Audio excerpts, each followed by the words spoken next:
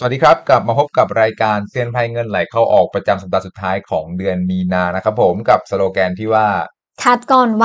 เข้าก่อนวิ่งหาผมหมอสองคนนะครับ กลับมาทำหน้าที่เหมือนเดิมผมหมอสโลโปครับ สวัสดีครับ สวัสดีค่ะ นี่อาจารย์พลอยพายลินค่ะครับผมอะต้องบอกเลยว่าสัปดาห์นี้เซ็นเด็กนี่โอ้โหดุดันมากอาจารย์ตุกตันคือยังไงคะเรียกว่าวันพฤหัสเนี่ยโอ้โหเขาเรียกว่าหลังสี่โมงนะดิ่งแรงนะอาจารย์สิบจุด สิบเนาะจุด พอมาเช้าวันศุกร์นี้เนี่ย วันนี้เรียกกลับมาเนาะขึ้นมาเจ็ดจุดนะครับ แล้วก็เรียกว่าการล่วงแรงในวันพฤหัสเนี่ยโอ้โห ไปสะกิดจุดแจ้งเตือนเงินไหลออก ผมเลยโพสต์ไปนะ วันนี้เลยเด้งขึ้นมาเลย โอ้โห เงิบเลยนะครับผมอะแต่ไม่เป็นไร เรียกว่าทางเทคนิคเนี่ย เราก็ทำตามกฎเกณฑ์ที่เราตั้งไว้เนาะต้องบอกว่าล่าสุดครับ เราเป็นการแจ้งเงินออกนะ เออ ดูสิ ผมทำ สีฟอนต์ผิดนะต้องเป็นสีแดงนะไม่สีเขียวนะค่ะอันนี้ขอโทษด้วยนะต้องเป็นสีเขียวเอ้ยสีแดงก็ต้องบอกว่า ตอนที่มันร่วงแรงอะ เออ ราคามันอยู่ที่ประมาณหนึ่งสามเจ็ดศูนย์นะ แต่ว่าค่ะในตัวแอปเนี่ย ผม cap ไว้เนี่ยเหมือนมันยัง refresh ไม่ทันเนาะเป็นหนึ่งสามเจ็ดห้าเพราะงั้นต้องบอกเลยว่ารอบนี้เนี่ย แจ้งเป็นสามเจ็ดศูนย์นะแล้วเดี๋ยวผมอัปเดตตรงราคาตรงนี้ให้นะครับผมแล้วก็ อะเนาะวันนี้มาอัปเดตกันต่อแหมไปไม่ถูกเลย พอ พอเซ็ตล่วงแรงแล้วแจ้งเตือนกันออกราคากราฟไม่ตรงเนี่ย ไปไม่ถูกเลยมา อันนี้นะครับเป็นหน้าที่เราเอาไว้วัดผล performance เนาะทุกครั้งที่มีการแจ้งเตือนนะครับ ตามวงกลมขาวเลยครับ แจ้งเตือนปุ๊บถ้าราคามีการเหวี่ยงเกิน 20 จุดถือว่าผ่านเกณฑ์นะครับ ตามวงกลมเขียวค่ะวงกลมแดงคือไม่ผ่านเกณฑ์นะครับ แล้วก็ล่าสุดเนาะแจ้งเงินออกไปแล้วเนี่ยเขาเรียกว่าก็ยังไม่ได้กำไรนะ แต่ก็ยังอยู่ในทางของเงินออกอยู่ก็ต้องรอดูก่อนนะว่าสุดท้ายเนี่ยจะได้ไปกี่จุดในการแจ้งเตือนเงินออกรอบนี้ โอเคนะครับผมค่ะโอเคมา เดี๋ยวเรามาเริ่มกันที่สรุปการซื้อขายรายสัปดาห์ของสัปดาห์นี้นะครับ ต้องบอกว่ากองทุนครับโดยรวมเนาะขายครับสุดที่อยู่ที่ 2,700 กว่าล้านบาทครับค่ะโบรกเกอร์ขายสุดที่อยู่ที่ 490 กว่าล้านบาทต่างชาติครับ ขายสุดที่อยู่ที่100กว่าล้านบาทนะครับ ผมแล้วก็รายย่อยครับ ซื้อแต่เพียงผู้เดียวสุดที่อยู่ที่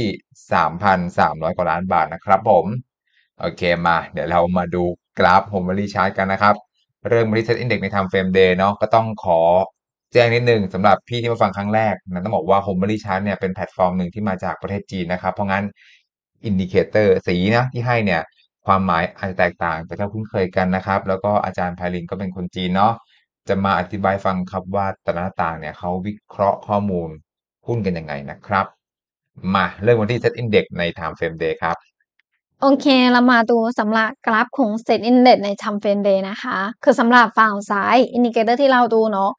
ช่องข้างบนสุดคือมีทั้งริบบิ้นมี strong signal ครับคู่กับตัวที่เป็น pattern สี่เก้านะคะสำหรับริบบิ้นเอาไว้ดูแนวโน้มเนาะง่ายๆ ดูสี สีแดงคือแนวโน้มขาขึ้น สีฟ้าคือแนวโน้มขาลงนะคะ คือดูสีดูความกว้างริบบิ้นแดงยิ่งกว้างแนวโน้มขาขึ้นยิ่งชัดเจน ริบบิ้นสีฟ้ายิ่งกว้างแนวโน้มขาลงยิ่งชัดเจนอืมนอกจากนั้นสำหรับตัว strong signal ที่เป็นเท่งเทียนเป็นสีสีครับ มีสีแดงสีน้ำเงิน สีเหลืองกับเท่งสีฟ้า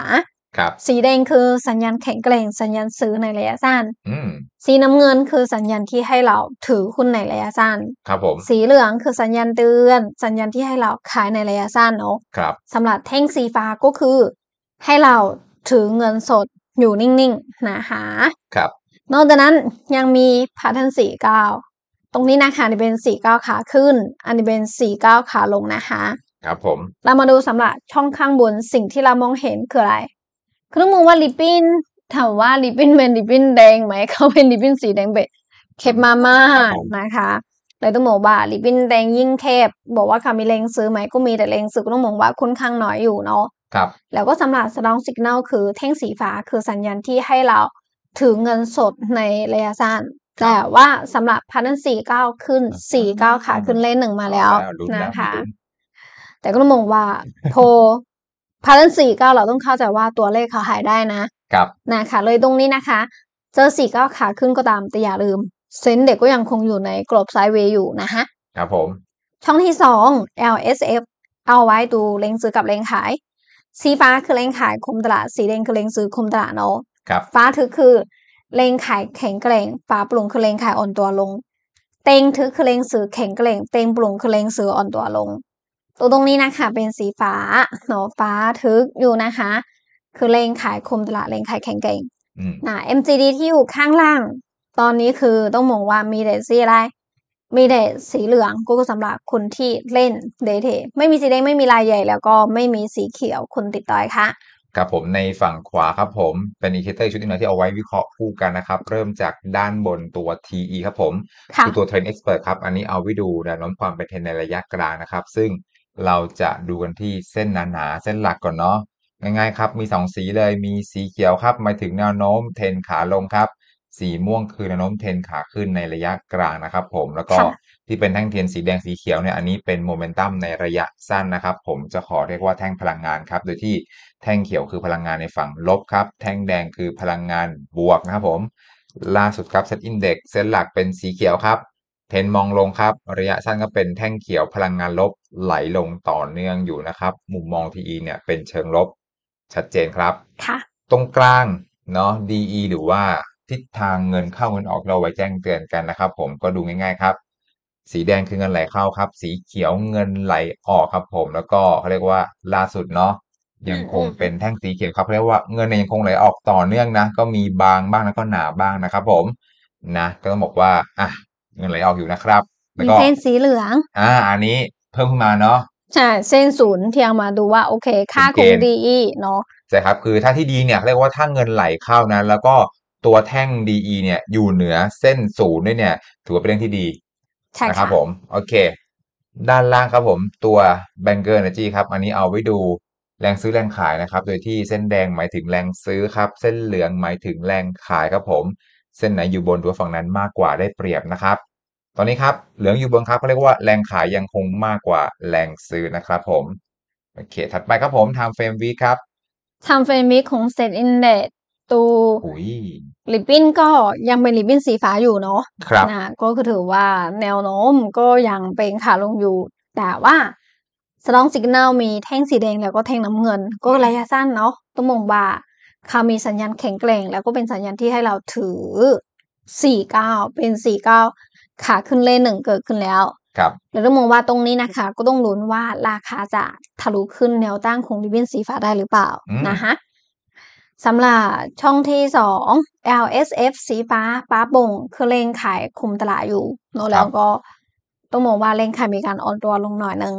แต่ MCD ที่อยู่ข้างล่าง สีเขียวคุณติดหุ้นค่อนข้างเยอะอยู่เลยเนาะเจ็ดสิบกว่าเปอร์เซ็นต์ที่เหลือเป็นสีเหลืองคนที่เล่นเดทเทครับไม่มีสีแดงไม่มีรายละเอียดเลยค่ะครับผมในฝั่งขวาครับตัว TE เส้นหลักเป็นสีเขียวครับ เทรนมองลงครับ ระยะสั้นก็ยังคงเป็นแท่งเขียวเนาะพลังงานลบ ไหลลงต่อเนื่องอยู่นะครับผมค่ะ แต่ว่าตรงกลางครับต้องบอกว่าทิศทางเงินเนี่ยยังคงเป็นเงินไหลเข้านะแบบบางๆนะครับผม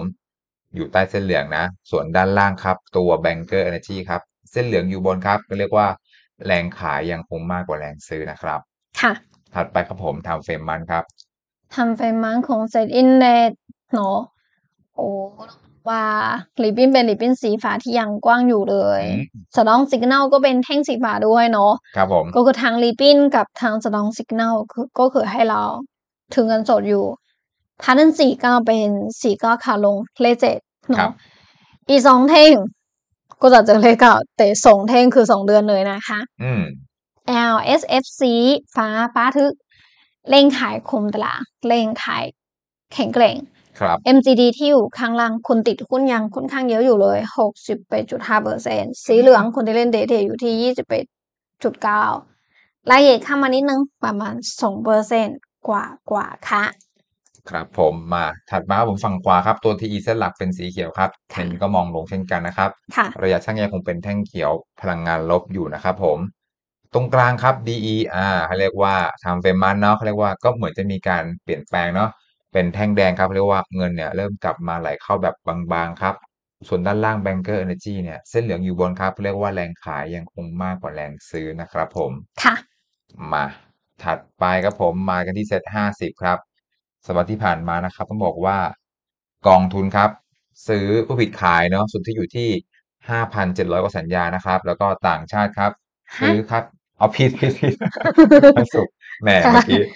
อ่าต้องบอกว่าโทษนะครับกองทุนครับผมกองทุนเนาะเขาเรียกว่าขายครับ สุดที่อยู่ที่เก้าพันหกร้อยกว่าสัญญาครับ ต่างชาติครับ ขายสุทธิอยู่ที่ 8,000กว่าสัญญาเนาะแล้วก็รายย่อยครับ ซื้อสุทธิอยู่ที่ 17,000กว่าสัญญานะครับผมค่ะมาเดี๋ยวเรามาดูกราฟในส่วนของ SET50 กันนะครับเซ็ตเริ่มกันที่50 time frame day เลย time frame day SET ห้าสิบใน time frame day นะคะ เขาก็อยู่ในช่วงเวลาที่เป็นกรอบ sideway ตรงนี้อยู่เหมือนกันเนาะคำว่าริบบิ้นเป็นริบบิ้นสีแดงริบบิ้นสีแดงก็ไม่ได้กว้างนะคะ strong ครับ signal คือแท่งสีฟ้า คือระยะสั้นเป็นสัญญาณที่ให้เราทำอะไรให้เราถือเงินสดอยู่ครับแต่พารันสี่เก้ามีสี่เก้าขาขึ้นเลขหนึ่งมาแล้วหนูอืมก็ลุ้นว่าไอ้รอบนี้เขาจะขึ้นแล้วก็ทะลุขึ้นกลบไซด์เวย์ได้หรือเปล่าอืม ช่องที่สอง LSF สีฟ้าคือเลงขายคุมตลาดเนาะครับนะแต่ตรงนี้เลงขายก็ไม่ได้เยอะมากอืมนะ MGD ที่อยู่ข้างล่างคือมีแต่สีเหลืองก็คือมีแต่คนที่เล่นเตเทค่ะครับผมฝั่งขวาครับ ตัวทีเส้นหลักเป็นสีเขียวเนาะเทรนด์มองลงครับ ระยะสั้นก็เป็นแท่งเขียวพลังงานลบไหลลงอยู่ครับผม ส่วนด้านล่างครับ ตัวทิศทางเงินนะเขาเรียกว่าเป็นเงินไหลออกครับ แล้วก็หลุดแนวเส้นศูนย์ไปแล้วนะครับ ค่ะ ด้านล่างแบงเกอร์ Energy เส้นเหลืองอยู่บนครับผม เรียกว่าแรงขายยังคงมากกว่าแรงซื้อนะครับ ค่ะ มาถัดไปครับผมทำเฟรมวีครับทำเฟรมวิคของเซตห้าสิบริบบิ้นคือริบบิ้นสีฟ้า แนวโน้มลงอยู่เนาะสนองสัญญาณแท่งน้ำเงินนะให้เราถือครับแต่เขาอยู่ใต้ริบบิ้นสีฟ้าอืมพาทันสี่เก้าเจอสี่เก้าขาขึ้นเล่นหนึ่งแล้ว แต่ต้องมองว่า ก็ถือว่าริบบิ้นสีฟ้าตูเป็นแนวต้านนะคะ ถ้าเขาจะขึ้น ราคาต้องทะลุขึ้นแนวต้านให้ได้ก่อนครับ LSF ตรงนี้คือสีฟ้าฝาโปร่งเนาะเล่งขายคุมตลาดอยู่ แต่ตรงนี้เล่งขายมีการอ่อนตัวลงหน่อยหนึ่ง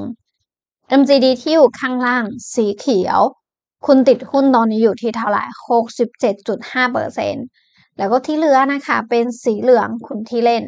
เดเทไม่มีสีแดงไม่มีลายใหญ่เลยค่ะ ครับผมในฝั่งขวาครับตัว TE เส้นหลักก็เป็นสีเขียวเนาะเทรนด์มองลงครับ ค่ะ ระยะสั้นนี่เป็นแท่งแดงมาจานอ่าแท่งแท่งแดแดงงพลังใช่งานค่ะ บวกนะ แต่ว่าอยู่ใต้เส้นหลักนะครับ เพราะงั้นมุมมองทีเป็นมุมมองเชิงลบอยู่นะครับ ค่ะ ตรงกลางทิศทางเงินเนาะเป็นแท่งแดงครับ เงินยังคงไหลเข้าอยู่ครับ ส่วนด้านล่าง Banker Energy เส้นเหลืองอยู่บนครับเขาเรียกว่าแรงขายยังคงมากกว่าแรงซื้อนะครับ ค่ะ ถัดไปครับผมสุดท้ายครับ Time Frame Month ของเซ็ต50 ครับ ทำเป็นมังคงเซตห้าสิบนะคะริบบิ้นคือริบบิ้นสีฟ้าอยู่ คือต้องมองว่า แนวโน้มนะคะ ถือว่าลงอยู่เนาะครับ strong signal แท่งสีฟ้าด้วย ก็ต้องมองว่า strong signal ก็ให้เราถือเงินสดอยู่นิ่งอืมๆ pattern สี่เก้านะคะ ตรงนี้เป็นนะคะสี่เก้าขาขาลงเนาะอย่างตัวเลขเจ็ดนะคล้ายๆกับ SET Index เลยอืม LSF สีฟ้า ฟ้าทึบคือแรงขาย ต้องมองว่าตรงนี้คือแรงขายคุมตลาดแล้วก็แรงขายแข็งแกร่งด้วย ครับ MGD ที่อยู่ข้างล่างสีเขียวคนติดหุ้นค่อนข้างเยอะเลยเนาะรายใหญ่ตอนนี้น้อยมากแค่สองเปอร์เซ็นต์กว่าๆที่เหลือสามจุดเอ็ดจุดเจ็ดเปอร์เซ็นต์เป็นสีเหลืองคนที่เล่นเตเทคะครับผมในฝั่งขวาครับผมตัว TE ครับ เส้นหลักเป็นสีเขียวครับค่ะเห็นมองลงครับผม ระยะสั้นก็เป็นแท่งเขียวพลังงานลบไหลลงต่อเนื่องอยู่นะครับ ค่ะ ตรงกลางทิศทางเงินนะยังคงเป็นเงินไหลออกอยู่นะครับผม ด้านล่างครับตัว Banker Energy เส้นแดงผู้ผิดเส้นเหลืองอยู่บนเนาะเขาเรียกว่าแรงขายยังคงมากกว่าแรงซื้อนะครับ ค่ะ โอเคมา มา จบ จบใช่ไหมอาจารย์เมื่อกี้ ใช่ จบจบสำหรับตัวเซ็ตเส้นเด็กกับเส้นห้าสิบนะคะนะครับผมอะต้องบอกว่าภาพรวมเนาะอย่างที่บอกครับ ก็ยังคงเป็นทิศทางเนี่ยขาลงอยู่ชัดเจนเนาะ ค่ะ ต่อเนื่องมานะครับผม แล้วก็สำหรับคนที่สนใจนะอยากจะ มีเครื่องมือนะครับ หรือว่าศึกษาเพิ่มเติมของในส่วนของบิลลี่เนี่ยทำไงได้บ้างครับอาจารย์สำหรับคนที่สนใจอยากจะเรียนรู้โฮม o ลี่นะคะ เช่นสนใจเข้ากลุ่มไลน์ศึกษา สนใจทดลองใช้ไอ้มือถืออย่างนี้ก็ s ID Line นะคะ s h o m e l y ก็ได้นะคะ หรือว่าสแกน QR ที่อยู่หน้าจอได้เลยค่ะ ครับผม อะในส่วนเอ้ยเดี๋ยวนะฮะ QR ไหนอาจารย์ QR ข้างล่างอ่าโออันเคเดียวกันค่ะ ได้ครับผม อะ ในส่วนของผมนะครับสำหรับคนที่สนใจนะอยากจะรับข่าวสารดีๆนะไม่ว่าจะเป็นในเรื่องของการแจ้งเตือนเงินเข้าเงินออกนะครับ ก็สามารถมาสมัครได้ที่ www.oppo.vip.trade นะครับ ผมเป็น IBA ในนามออนไลน์เวิร์กช็อปครับ รหัส A0737 นะครับผมค่ะมาถัดไปครับผมในส่วนของตัวสวิตอื่นๆเนาะก็จะมีส่วนของตัวที่เป็น Mor- morning brief ทุกเช้านะครับ เป็นค่ะข้อมูลให้ในการก่อนเทรดนะครับค่ะแล้วก็จะมีส่วนของที่เป็นตัวหุ้นเนาะเกณฑ์ของหุ้นครับโอเค มาถัดไปครับผม ก่อนที่จะไปส่วนของตัว sector นะ ต้องขอแจ้งข่าวนิดนึงนะครับ ต้องบอกว่าตอนนี้เนี่ย RCB เนาะเขามีการจับมือกับตลาดหลักทรัพย์ร่วมกันเนาะเขาเรียกว่าจะมีการให้ความรู้ครับค่ะในส่วนของตัวตลาดหุ้น DR นะตลาดหุ้น DR คืออะไรต้องบอกว่า DR เนี่ยเป็นหุ้นต่างประเทศนะค่ะบางคนบอกว่าโอ้ตลาดหุ้นไทยตอนนี้เนี่ยเล่นยากหรือว่า ถือแล้วไม่ได้เรียกว่าขาดทุนเนาะอยากได้ทุนนอกบ้างนะครับ แต่ทีนี้เนี่ยต้องบอกว่าหุ้น DR เนี่ยเราไม่จำเป็นต้องเปิดพอร์ตต่างประเทศนะ เออเป็นพอร์ตในไทยนี่แหละนะอืมแล้วก็สามารถซื้อขายหุ้นต่างค่ะประเทศได้แต่ว่าอาจจะมีเขาเรียกว่าตอนนี้มีอยู่ประมาณเจ็ดถึงสิบตัวค่ะเนาะอยากรู้ข้อมูลเพิ่มเติมนะครับ ก็สามารถสแกน QR แล้วก็ลงทะเบียนเนาะไปฟังกันในวันอาทิตย์ที่ 31 นี้ได้นะครับผมค่ะโอเคมา เดี๋ยวเรามาอัปเดตส่วนตัว sector กันนะครับ ว่าอ่าสัปดาห์ที่ผ่านมานี้เนี่ย sector กลุ่มไหนเนาะที่มี potential ในฝั่งบวกมากสุด 5 อันดับแรกนะครับ ก่อนอื่นเลยขออนุญาตอัปเดตข้อมูลก่อน เออ มัวแต่กำลังดูของตัวที่เป็นกราฟเนาะค่ะ มาอัปเดตสักครู่นะครับอ่ายาวเลยทีนี้ ยาวเลยทีนี้อะระหว่างนี้อาจารย์ระหว่างนี้รอ ขอเปิดดูหุ้น DR หน่อย เออว่าเอ้ยบางคนบอกอยากเล่นหุ้น DR มีมีหุ้นอะไรบ้าง ที่นึกออกมีนี่อาจารย์ปาปาแปดศูนย์อะ ไล่ไปก่อน อะไรนะบาบาแปดศูนย์อาลีบาบาไงทาบาเป็ดศูนย์ครับผม อันนี้เหรอ ใช่ครับเนาะที่ลงท้ายด้วยแปดศูนย์เนี่ยเป็นหุ้น DR ค่ะ นะครับผมเนาะมีอะไรอีกครับ มีตัวนี้ฮะ BYD Com มีวายดีคอมอ่า ดูนะกราฟเป็นไงบ้างโอ้โหก็ดูอาจารย์ลองแนวลองโน้มกราฟได้กันอาจารย์เน้นเน้นเน้นที่กราฟหน่อยก็มองว่าสำหรับปี YD Combat ศูนย์นะคะ คือเขาก็ถ้าตูริบบินเราก็ตูแนวโน้มเขาได้เนาะ ริบบินเป็นริบบินสีแดงอยู่นะคะ คือแนวโน้มระยะกลางเป็นขาขึ้นอืมนะจุดที่เขาเปลี่ยนเป็นขาขึ้นคือตั้งแต่ตรงนี้เนาะครับนะขึ้นบ้างมีการย่อบ้าง มีระยะสั้นมีให้ขายบ้าง แล้วก็ให้ซื้อไม่แล้วก็ให้ขายอีกนะคะอืมตอนนี้คือระยะสั้นเป็นสัญญาณที่ให้เราถือเงินสด ครับเพราะว่าสตองสิกนลเท่งสีฟ้าอยู่เนาะแต่ระยะกลางเป็นขาขึ้นอยู่ เพราะว่าริบบิ้นเป็นริบบิ้นสีแดง ตรงนี้นะเริ่มมีแล้วอะไรเลงขายเข้ามานะคะ แล้วก็ MCD ที่อยู่ข้างล่างบอกว่า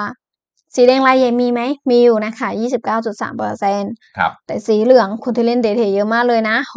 66.7เปอร์เซ็นแล้วก็ครับผมคุณติดต่อยเนาะมีการลดลงนะคะ ก็ต้องมองว่า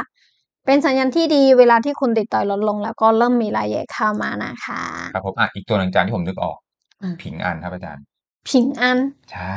พิมพ์ยังภาษาจีนพิงอันเหรอ ไม่ใช่ครับพิงบางกีจันอ่า นี่เลย นี่ผิงอันแปดศูนย์พิงอัน ดูซิกราฟเขาเป็นยังไง เอาเอาก็แนวโน้มลงอยู่เนาะครับ ริบบิ้นเป็นริบบิ้นสีฟ้านะคะ แล้วก็ต้องบอกว่าตรงนี้ ริบบิ้นสีฟ้าถือว่ามีการกว้างขึ้นด้วย อืมอะ แล้วก็สตองสิก n a ลคือแท่งสีฟ้าด้วย คือมองว่าระยะกลางกับระยะสั้นให้เราถือเงินสดอยู่ แต่ว่าเขามีพาร์ทเนสี่เก้าเกิดขึ้น แต่สี่เก้าเกิดขึ้นในแนวโน้มขาลงก็ต้องมองว่าสัญญาณตรงนี้ก็ยังเสี่ยงอยู่เนาะครับผมสำหรับด้วย LSF เราก็ดูได้นะเร่งขายคุมตลาดเร่งขายแข็งแกร่ง เพราะว่าเขาเป็นสีฟ้าที่เป็นฟ้าทึกครับถูกไหมคะ MCD ข้างล่างก็ดูรายใหญ่ได้นะอืมก่อนหน้านี้คือเททานี้คุณติดต่อยเยอะแล้วก็ลดลงไปหายไป ตรงนี้คุณติดต่อยก็มีการพึ่งขึ้นมาครับผมนะ ก่อนหน้านี้รายใหญ่มีการพึ่งขึ้นมานิดนึง แล้วก็ตอนนี้นะคะรายใหญ่ก็ถือว่าเป็นไงบ้าง มีการลดลงมา เหลือแค่ไม่กี่เปอร์เซ็นต์สามเปอร์เซ็นต์กว่าๆครับคือเราก็สามารถดูแนวโน้มได้นะคะ แล้วก็เรียกว่าอะไรดูจุดกลับตัวได้ด้วยตัว indicator ต่างๆนะคะตัวสามวิงเกิลหรือว่าหกวิงเกิลก็ได้หมดอย่างนี้นะคะครับผมอะก็ต้องบอกว่าหุ้นที่เป็นอันเนี้ยหุ้น DR เนาะอันเนี้ยค่ะเป็นเหมือนเป็นหุ้นที่ฝั่งเอเชียซึ่งจะเป็นหุ้น จีนซะส่วนใหญ่นะครับค่ะ สำหรับคนที่บอกเอ้ยแล้วอยาก trade หุ้นที่เป็นอเมริกาล่ะ ก็จะมีตัวที่เป็น DRX นะอืมซึ่งใน X เนี่ยเราสามารถที่จะไปดูกราฟเนี่ยที่เป็นหุ้นแม่ได้เลยนะครับ แล้วก็มา trade กันในกระดาน DRX ค่ะ เนาะที่ผมจำได้เนี่ยก็จะมีตัวนี้จานเทสลาดูซิว่าตอนเนี้ยถ้าเป็นดูตลาดหุ้นอเมริกาเนี่ยกราฟเทสลาเป็นไงบ้าง เทสลาเหรอ ใช่ครับ เทสลาเคยขึ้นไปรอบหนึ่งอืม ก่อนหน้านี้น่าจะเคยขึ้นมาเยอะอืมเนอะถ้าเราดูเทรนใหญ่นิดนึง เหมือนเขาก็ขึ้นเป็นรอบๆเนาะครับแต่ณตอนนี้คือเขาเปลี่ยนเป็นขาลงครับริบผมบิ้นเป็นริบบิ้นสีฟ้าคือแนวโน้มอืมระยะกลางลงอยู่นะคะ คือเหมือนเขาก็สไลด์ลงเรื่อยๆเนาะมีเต้งบ้าง สุดท้ายก็ลงแรงกว่า ตรงนี้นะคะสำหรับ LSF มีสีแดงเต้งเต้งทึกด้วยนะครับ คือเขามีเขามีแรงสื่อเข้ามาคุมตลาดแต่ตรงนี้ โพเต้งถือเกิดขึ้นในริบบิ้นสีฟ้า ก็ต้องบอกว่าสัญญาณไม่ได้คอมเฟิร์กันอืมยิ่งด้วยว่าตัว MCD ที่อยู่ข้างล่างนะคะ สีเขียวคนติดหุ้นตรงนี้นะคะ ถือว่าค่อนข้างเยอะอยู่นะโอเคแล้วก็ตัวแนวโน้มได้ตัวสัญญาณต่างๆได้ค่ะ โอเคครับผมอะระหว่างนี้คือจริงๆผมก็อัปเดตข้อมูลเรียบร้อยแล้วนะเดี๋ยวเรามาตอบกันของตัว sector นะครับห้าอันดับแรกขอเริ่มมาที่ตัวอิเล็กทรอนิกส์นะครับผม ค่ะเดี๋ยวก่อนนะ อันนี้ใช่ไหมคะ นะ zoom in หน่อยจ้ะขอโอใหญ่เค ๆหน่อยสำหรับเซตเตอร์นี้ ริบบิ้นเปลี่ยนเป็นริบบิ้นสีแดงเนาะแล้วก็ริบบิ้นสีแดงมีการกว้างขึ้นมาด้วย คือต้องบอกว่าแนวโน้มเขาเริ่มกลับตัวเป็นแท่งขาขึ้นแสดงสิกนัลมีแท่งสีแดง แล้วก็แท่งน้ำเงินคือระยะสั้นมีสัญญาณที่ให้ซื้อแล้วก็ให้ถือพาทันสี่เก้าเจออะไรเจอสี่เก้าขาขึ้นเลขหนึ่งเนาะครับ อะก็ลุ้นดูว่าเขาจะขึ้นไปเจอพาทันสี่เก้าเป็ดส่งบุญได้หรือเปล่า อืม LSF สีแดงแดงทึบแรงซื้อคุมตลาดแล้วก็แรงซื้อก็ถือว่าแข็งแกร่งอยู่ครับผมแต่ MCD ที่อยู่ข้างล่างคือคนติดหุ้นอย่างเยอะอยู่เนาะคนติดหุ้น 40 กว่าเปอร์เซ็นต์ที่เหลือเป็นสีเหลืองคนที่เล่น day trade ไม่มีสีแดงไม่มีรายใหญ่ค่ะครับผมในฝั่งขวานะครับตัว TE เนี่ยเส้นหลักเรียกว่าเริ่มมีการเปลี่ยนสีเนาะจากค่ะเขียวเป็นม่วงนะครับเรียกว่าเทรนเนี่ยเริ่มดูดีแล้วค่ะแต่ว่าระยะสั้นเองเนี่ยเป็นแท่งแดงอ๋อสับเขียวเนาะเป็นเขียวอืมแล้วก็ยังคงอยู่ใต้เส้นหลักนะ เพราะงั้น ภาพรวม TE เนี่ยผมมองว่าเป็นเชิงลบอยู่นะ ถ้าให้ดีเนี่ยแท่งพลังงานควรกลับมายืนเหนือเส้นหลักให้ได้ด้วยนะครับค่ะตรงกลางที่ทางเงินค้าต้องบอกว่ายังคงเป็นเงินไหลเข้าต่อเนื่องนะครับ แต่ว่าขนาด DE เนี่ยก็บางลงต่อเนื่องชัดเจนนั่นอย่างที่เห็นกันค่ะส่วนด้านล่างครับ Banker Energy เส้นแดงเนี่ยเริ่มมีการตัดเหลืองขึ้นบนครับเขาเรียกว่าแรงซื้อเริ่มกลับมามากกว่าแรงขายเล็กน้อยแล้วนะครับค่ะถัดไปครับผมกับ sector IMM ครับ sector IMM นะคะอืมมาดู sector นี้เขาก็เคยขึ้นมาเนาะแล้วก็มีการเปลี่ยนเป็นริบบิ้นสีฟ้า ที่นี่ทะลุขึ้นริบบิ้นสีฟ้า แต่คือเปลี่ยนเป็นริบบิ้นแดงไม่ได้แล้วก็ลดลงมาอีก รอบนี้ทะลุขึ้นริบบิ้นสีฟ้าอีกทีนึงเนาะริบบิ้นเป็นไงยังยังคงเป็นริบบิ้นสีฟ้าอยู่ แต่ครับว่าริบบิ้นแคบลงมามาก็ลุ้นดูว่าเขาจะเปลี่ยนเป็นริบบิ้นแดงหรือเปล่าครัเนาะบ สลองสิกนัลมีแท่งสีแดงแล้วก็แท่งสีน้ำเงินนะระยะสั้นมีสัญญาณที่ให้เราซื้อแล้วก็ตอนนี้เป็นสัญญาณที่ให้ถือสี่เก้าเป็นสี่เก้าขาขึ้นเนาะเลขสี่ LSF สีแดงเตงถือแรงซื้อคุมตลาดนะคะแรงซื้อแข็งแกร่งแต่ว่าแรงซื้อก็ไม่ได้เยอะมากเนาะอืม MCD ที่อยู่ข้างล่างสีเหลืองคนที่เล่นเดทอยู่ที่เก้าสิบเอ็ดจุดหกเปอร์เซ็นแล้วก็มีรายใหญ่ประมาณหนึ่งเปอร์เซ็นกว่าๆ นะไม่มีสีเขียวไม่มีคนติดดอยค่ะ ครับผมในฝั่งขวาครับตัว TE เส้นหลักก็มีการเปลี่ยนสีเนาะจากเขียวเป็นม่วงครับ แล้วก็ระยะสั้นก็เป็นแท่งแดงพลังงานบวก แล้วก็วันนี้เนี่ยสามารถกลับมาอยู่เหนือเส้นหลักแล้วเพราะงั้น TE ถือว่าเริ่มดูดีนะครับผมค่ะตรงกลางครับเนาะทิศทางเงินครับเรียกว่าเงินเนี่ยก็ไหลเข้าต่อเนื่องครับ แต่อยู่ในช่วงทดสอบเนาะเส้นแนวศูนย์นะเรียกว่าถ้าให้ดีนะก็ควรกลับมายืนแนวเหนือแนวศูนย์ให้ได้เช่นกันนะครับ ตัวด้านล่างครับ Banker Energy เส้นเหลืองอยู่บนครับ เรียกว่าแรงขายยังคงมากกว่าแรงซื้ออยู่นะครับผม ค่ะ ถัดไปครับกับ sector Finance ครับ โอเค sector นี้ตามแนวโน้มเนาะริบบิ้นโอเคอยู่นะริบบิ้นแดง แล้วก็ริบบิ้นสีแดงต้องบอกว่ากว้างขึ้นแสดงสิกนัลแท่งน้ำเงิน ระยะสั้นเป็นสัญญาณที่ให้ถือครับแล้วก็พาร์ทันสี่ก็เป็นสี่ก้าวขาขึ้นด้วย แต่ที่นี่นะคะขึ้นมาถึงเลขเจ็ดแล้วนะคะ ก็ลุ้นดูว่าอีก เขาจะเจอเป็ดเก้าหรือเปล่า LSF สีแดงเต็งทึกเล็งซื้อคุมตลาดเล็งซื้อแข็งแกร่งนะคะ แล้วก็ MCD ที่อยู่ข้างล่างคือ มีแต่สีเหลืองก็คือมีแต่คนที่เล่นเดเทคือไม่มีสีแดงไม่มีลายใหญ่ แล้วก็ไม่มีสีเขียวคนติดต่อยด้วยค่ะ ครับผมในฝั่งขวาครับตัวที่ครับ เส้นหลักเป็นสีม่วงครับ เทรนระยะกลางมองบวกครับระยะสั้นก็เป็นแท่งแดงพลังงานบวกปรับตัวสูงขึ้นต่อเนื่องอยู่นะครับผมค่ะ ตรงกลางครับ DE นะที่ทางกันครับเรียกว่าเงินเนี่ยไหลเข้าต่อเนื่องนะครับ ส่วนด้านล่างครับตัว Banker Energy เนี่ยเส้นแดงอยู่บนครับเรียกว่าแรงซื้อยังคงมากกว่าแรงขายอยู่นะครับ ค่ะ ครับผมมาถัดไปครับผมกับ sector ไหนคะ Property ครับ โอเค อืม เรามาดู sector นี้นะคะอู้มีการเปลี่ยนเป็นริบบิ้นสีแดงละครับคือราคาเริ่มเปลี่ยนเป็นริบบิ้นสีแดงเนาะ แสดงว่าอะไรแสดงว่าตรงนี้นะคะ แนวโน้มระยะกลางเนาะถือว่าเริ่มเปลี่ยนเป็นแทงขาขึ้นแสดงสัญญาณแท่งน้ำเงิน ระยะสั้นเป็นสัญญาณที่ให้ถือด้วยพาร์ทนสี่เก้าเป็นสี่เก้าค่ะ ขึ้นเลขสี่เนาะ LSF สีเด้งเด้งถือเนาะเล็งซื้อคุมตลาดนะคะ แล้วก็เล็งซื้อแข็งแกร่ง MCD ที่อยู่ข้างล่างคือมีเดทสีเหลืองมีเดทคุณที่เล่นเดทเทนะคะ ครับผมมาในฝั่งขวาครับผมตัว TE ครับ เส้นหลักเป็นสีม่วงครับเทรนระยะกลางมองบวกครับระยะสั้นก็เป็นแท่งแดงพลังงานบวกเนาะยืนเหนือเส้นหลักเนี่ยได้วันที่สองและ TE ถือว่าดูดีครับค่ะตรงกลางทิศทางเงินครับเรียกว่าเป็นเงินไหลเข้าต่อเนื่องนะแล้วก็เงินไหลเข้าเนี่ยอยู่เหนือเส้นศูนย์แล้วนะครับ ผมก็ถือว่าดูดีเช่นกันครับค่ะด้านล่าง Banker นะที่เส้นแดงก็ตัดเหลืองขึ้นบนครับเขาเรียกว่าแรงซื้อก็กลับมามากกว่าแรงขายนะครับ ผมค่ะ ถัดไปครับผมกับ sector sector ครับเดี๋ยว ก่อนนะขอพิมพ์นิดนึงนะเซกเตอร์นี้เอ๊ะพิมพ์ทีผิดเบิลครับอาจารย์ โอเคเซตเตอร์นี้เนาะเรามาดูเซตเตอร์นี้นะคะ ต้องมองว่าเซตเตอร์นี้คือริบบิ้นเต็งที่มีการเคบลงเนาะก็ต้องมองว่าราคามีการหลุดริบบิ้นแดงด้วย คือใกล้ที่จะหลุดริบบิ้นแดงนะคะ แล้วก็พาร์ทเทิร์นสี่เก้าเป็นสี่เก้าขาขึ้นเลยสอง แต่ว่าคือต้องมองว่าระยะกลางเริ่มที่ริบบิ้นเริ่มแคบ ระยะสั้นให้ถือเงินสดอยู่เนาะอืม LSF สีฟ้าแรงขายคุมตลาด MCD ที่อยู่ข้างล่างคือมี day สีเหลือง มี day คนที่เล่น day trade นะคะครับผมมาในฝั่งขวาครับตัว TE เส้นหลักครับ เป็นสีม่วงครับ เทรนมองบวกครับ ระยะสั้นแล้วก็กลับมาเป็นแท่งแดงพลังงานบวกอีกครั้งหนึ่งนะครับผม ตรงกลางครับ DE ต้องบอกว่าอ่าล่าสุดเนาะก็ เริ่มเป็นแท่งแดงครับ เงินเนี่ยกลับมาไหลเข้าอีกครั้งหนึ่งครับส่วนด้านล่าง Banker Energy ครับ เส้นเหลืองอยู่บนครับ เรียกว่าแรงขายยังคงมากกว่าแรงซื้ออยู่เล็กน้อยนะครับผมโอเคอะค่ะก็ครบในส่วนของตัว sector ห้าอันดับแรกนะครับ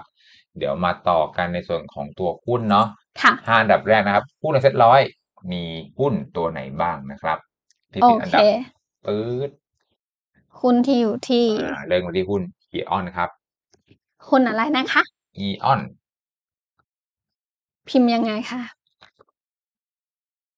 Eon ใช่ไหมคะ ใช่ครับ Eon นะคะ ถ้าเรามาดูอย่างนี้นะคะ ต้องมองว่า สิ่งที่เรามองเห็นคืออะไร คือริบบิ้นมีการเปลี่ยนเป็นริบบิ้นสีแดงนะคะ ก็แสดงว่าแนวโน้มอะไร แนวโน้มระยะกลางคงเขาเปลี่ยนเป็นแทงขาขึ้นเนาะ แล้วก็นอกจากนั้นเราจะเห็นได้ว่าสตองสิกนัลมีแท่งสีแดง แล้วก็มีแท่งสีน้ำเงินเกิดขึ้นด้วย ก็คือเขามีสัญญาณซื้อแล้วก็เป็นสัญญาณที่ให้เราถือตำหรับระยะสั้น 4949ขาขึ้นเลข4เนาะน่าลุ้นดูว่าเขาจะขึ้นต่อเจอเลข 9 ได้หรือเปล่าสำหรับ LSF สีแดงเต็งถึกเล็งซื้อคุมตลาดเล็งซื้อแข็งแกร่ง MGD ที่อยู่ข้างล่างคือมีเดทสีเหลือง ก็คือมีเด็กคนที่เล่นเดทเทไม่มีสีแดงแล้วก็ไม่มีสีเขียวก็คือเขาไม่มีคน ที่ติดหุ้นแล้วก็ไม่มีรายใหญ่ค่ะ ครับผมในฝั่งขวาครับตัวทีเส้นหลักครับ เป็นสีม่วงครับเทรนเริ่มมองบวกครับค่ะระยะสั้นก็เป็นแท่งแดงพลังงานบวกสูงขึ้นต่อเนื่องอยู่ในเส้นหลักและทีถือว่าดูดีครับโอเคตรงกลางทิศทางเงินโอ้โหชัดเจนนะเขาเรียกว่าเงินไหลเข้าต่อเนื่องครับ DE มีขนาดที่หนาขึ้นยกตัวสูงขึ้นนะครับ คือเงินไหลเข้าเพิ่มขึ้นต่อเนื่องนะ ค่ะ ด้านล่างแบงเกอร์นะจีเนี่ย เส้นแดงเนี่ยเริ่มจะตัดเหลืองขึ้นบนแล้วเขาเรียกว่าแรงซื้อเริ่มจะกลับมามากกว่าแรงขายนะครับผม ค่ะ มาถัดไปครับกับหุ้น AP ครับ AP ตัวนี้ AP ก็เพิ่มเปลี่ยนเป็นดิบบินแดงเนาะอืม แล้วก็สะท้องสัญญาณแท่งแดงแท่งนี้ แต่แท่งนี้คือขึ้นมาค่อนข้างเยอะ แล้วก็หลังจากนั้นก็มีการย่อลงมาบ้าง แต่ว่าสะท้องสัญญาณยังเป็นแท่งน้ำเงินเนาะยังเป็นสัญญาณที่ให้เราถืออยู่นะคะ พานันสี่เก้าเป็นสี่เก้าขาขึ้นนะ ตรงนี้เป็นเลยค่ะ คือถือว่าสลองสิกแนลระยะสั้นโอเคลิปินลิปินแดงโอเคพาทันสี่เก้าก็เป็นขาขึ้น เพียงแต่ว่าเขาเท่งนี้ขึ้นเลงก็เลยกำลังย่ออยู่ LSF ตรงนี้เป็นสีแดงเต็กทึกเนาะเล่งซื้อคุมตลาดเล่งซื้อแข็งแกร่ง แล้วก็ MCD ที่อยู่ข้างล่างตอนนี้คือ มีแดดสีเหลืองก็คือมีเด็กคนที่เล่นเดทเท ไม่มีสีแดง ไม่มีลายใหญ่ ไม่มีสีเขียว ไม่มีคนติดต่อยค่ะ ครับผมในฝั่งขวาครับตัว TE ครับเส้นหลักเป็นสีม่วงครับ ค่ะ เห็นมองบวกครับ ระยะสั้นก็เป็นแท่งแดงพลังงานบวกกับตัวสูงขึ้นต่อเนื่องนะครับผม ค่ะ ตรงกลางครับ เงินยังคงไหลเข้าต่อเนื่องครับ ด้านล่าง Banker Energy เส้นแดงตัดเหลืองขึ้นบนครับเรียกว่าแรงซื้อกลับมามากกว่าแรงขายนะครับผม ค่ะ ถัดไปครับกับหุ้น LH ครับ LH ตึง LH ริบบิ้นคือริบบิ้นสีฟ้าที่มีการเคปลงเนอะคือต้องมองว่า แนวโน้มเขายังลงอยู่ แต่ว่าคือราคามีการทะลุขึ้นริบบิ้นฟ้าเป็นการทะลุขึ้นแนวด้านเนอะระยะสั้นมีแท่งแดงแล้วก็แท่งน้ำเงินนะเป็นสัญญาณที่ให้เราถือในระยะสั้นอยู่พาทันสี่เก้าเป็นสี่เก้าขาขึ้น ตรงนี้เป็นเลขห้าเนาะอืม LSF สีแดงเต็งทึกเล็งซื้อคมตลา MGD ที่อยู่ข้างล่าง สีเหลืองคุณที่เล่นเดทเทรดค่อนข้างเยอะ แล้วก็มีสีเขียวคนติดต่อนิดนึง ไม่มีสีแดงไม่มีรายใหญ่ค่ะ อืมครับผมฝั่งขวาครับตัว TE ครับ เส้นหลักเป็นสีม่วงนะ เทรนเริ่มมองบวกครับ ระยะสั้นก็เป็นแท่งแดงพลังงานบวกเนาะกลับมายืนเหนือเส้นหลักได้อีกครั้งหนึ่งนะครับผม TE ถือว่าโอเคครับ ค่ะ ตรงกลางทิศทางเงินเนาะเงินก็ไหลเข้าต่อเนื่องเช่นกันนะครับ ด้านล่าง Banker Energy เส้นแดงตัดเหลืองขึ้นบนครับ แรงซื้อกลับมามากกว่าแรงขายนะครับผม ค่ะ ถัดไปครับกับหุ้น ITC ครับ ITC ตัวที่สองหู ITC ริบบิ้นแดงค่อนข้างกว้างอยู่นะคะ คือครับ มองว่าแนวโน้มระยะกลางคงเขาเป็นขาขึ้นอยู่ค่อนข้างชัดเจนเนาะก่อนหน้านี้ริบบิ้นฟ้าทะลุขึ้นริบบิ้นฟ้าริบบิ้นฟ้าเปลี่ยนเป็นริบบิ้นแดง ระหว่างทางก็ยังมีสะดองสิกนอลแท่งแดงเกิดขึ้นสองรอบ แล้วก็แท่งแดงแท่งนี้มีสี่ก้าวขาขึ้นเลขหนึ่งด้วย ตอนนี้ขึ้นมาเจอเลขสี่เนาะคือแนวโน้มระยะกลางได้ ระยะสั้นให้ถือหุ้นสี่ก้าวขาขึ้นเลขสี่ LSF สีแดงแดงทึกเล่งซื้อคุมตลาดเล่งซื้อแข็งแกร่ง แล้วก็ MCD ที่อยู่ข้างล่าง สีเหลืองคนที่เล่นเดทเทอยู่ที่เก้าสิบจุดเก้าเปอร์เซ็นต์อืมรายใหญ่อยู่ที่เก้าเปอร์เซ็นต์เนาะไม่มีสีเขียว ไม่มีคนติดดอยค่ะ ครับผมฝั่งขวาครับตัว TE เส้นหลักเป็นสีม่วงครับ เทรนมองบนครับ ระยะสั้นก็เป็นแท่งแดงพลังงานบวกสูงขึ้นต่อเนื่องนะครับ ค่ะ ตรงกลางทิศทางเงินก็เงินไหลกลับเข้ามาต่อเนื่องอีกครั้งหนึ่งครับ ส่วนด้านล่าง Banker Energy เส้นแดงอยู่บนครับเรียกว่าแรงซื้อมากกว่าแรงขายพร้อมทั้งมีแท่งเขียวครับโมเมนตัมในฝั่งบวกเนี่ย ปรับตัวสูงขึ้นต่อเนื่องเลยครับผม ค่ะ สุดท้ายครับผมกับหุ้น KKP ครับ KKP KKP ตัวตรงนี้เนาะริบบิ้นเขาต้องมองว่า ริบบิ้นตอนนี้เป็นริบบิ้นสีฟ้านะคะ คือแนวโน้ม เริ่มเบี่ยงเป็นขาลงนะครัคะบแต่ตรงนี้เขาลงมาเจอสีก็ขาลงเลขเก้าเนาะหลังเลขเก้าราคามีการเต้งขึ้นมานิดนึงเนาะตรงนี้เป็นกลับมาเป็นสี่เก้าขาขึ้นแล้วสี่เก้าตอนนี้เป็นสี่เก้าขาขึ้นเลขสามอยู่นะคะสำหรับ LSF คือสีแดงเต็งทึก เล็งซื้อคุมตลาดเล็งซื้อแข็งแกร่ง แต่ต้องมองว่าแรงซื้อตรงนี้ไม่ได้เยอะนะคะ MCD ที่อยู่ข้างล่างคือ สีเหลืองคนที่เล่นเดทเทอยู่ที่ 90 กว่าเปอร์เซ็นต์ สีแดงรายใหญ่อยู่ที่ 4.3 ก็ต้องมองว่าริบบิ้นฟ้าเนาะแต่ว่าระยะสั้นสตองสิก n นลแท่งน้ำเงิน แล้วก็มีสีก้าวขาขึ้น มีแรงซื้อรายใหญ่เริ่มเข้ามา แต่ก็ต้องมองว่า สัญญาณก็ไม่ได้ confirm กันนะคะ เขาขึ้นมาเยอะแล้วก็มีการย่อลงมาเด้งขึ้นมาก็ต้องลุ้นว่าเขาจะเปลี่ยนเป็นริบบิ้นแดงใหม่อีกทีหนึ่งหรือเปล่าคะ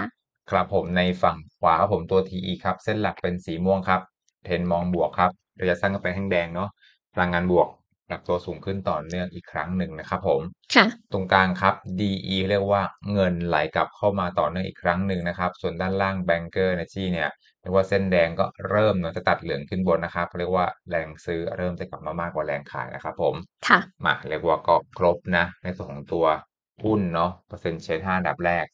มาสุดท้ายครับผมกับฟังก์ชันสแกนหุ้นครับ โอเคสำหรับวันนี้นะคะเราก็จะมาสแกนหุ้นที่อยู่ในเซ็นร้อยนะคะเข้าที่หน้านาฬิกาซ้ายแล้วก็มาที่ e x t e ตรงนี้นะคะอ่าเซ็นร้อย พอกด Open นะคะ ฝั่งขวาตรงนี้เขาจะขึ้นหุ้นเซ็นร้อยครับเนาะที่มีร้อยตัวแทนเราจะสแกนหุ้นที่อยู่ในเซ็นร้อยที่มีเงินไหลเข้าวันแรกพอเราเลือกหุ้นเสร็จร้อยเสร็จแล้วเนาะเราก็มากดที่เลือกเสร็จร้อยเลือกเงื่อนไขแล้วก็มากด further เขาก็จะสแกนหุ้นให้เรา ก็จะเจอหุ้นที่อยู่ในเซ็นร้อยที่มีเงินเข้า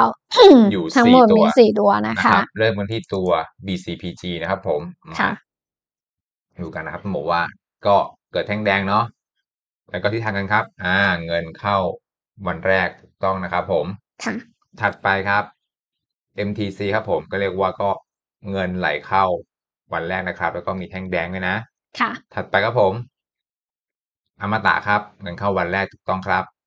ถัดไปครับสุดท้ายนะกับ AOT นะเขาเรียกว่าก็เงินไหลกลับเข้ามาบางๆครับผมก็ถือว่า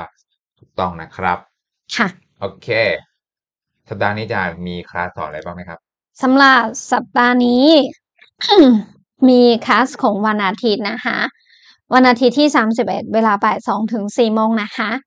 หัวข้อคือวิธีทำกำไรระยะสั้นสไตล์โฮมลีสำหรับทุกคนที่สนใจเรียนก็ทักไลน์มาจองเรียนได้ค่ะ โอเคครับผมสุดท้ายครับผมสำหรับคนที่สนใจเนาะอยากจะทดลองใช้งานนะครับ จะมีส่วนของที่เป็นแอปมือถือครับสามารถทดลองใช้งานได้ฟรี 7 วันนะครับ ง่ายๆสแกน QR แล้วก็แจ้งทีมงานได้เลยนะครับค่ะโอเคสำหรับสัปดาห์นี้ครับผมเราสองคนก็ต้องขอจบการรายงานเพียงเท่านี้นะครับ พบกันใหม่สัปดาห์หน้าครับผมลาไปก่อนครับ สวัสดีครับ สวัสดีค่ะ